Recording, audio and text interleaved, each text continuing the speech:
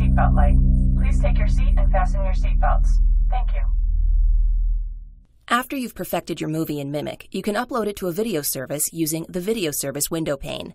Access this window pane from the View ribbon. First, log on to the video service of your choice. Once you're logged on, the Video Services window pane will show all of the other videos you've uploaded to this account, even if you didn't upload them using Mimic.